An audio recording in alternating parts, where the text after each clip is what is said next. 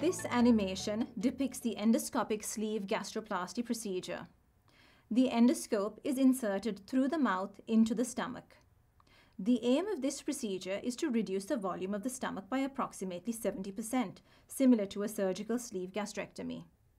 The front and back walls of the stomach are marked to help guide placement of the sutures.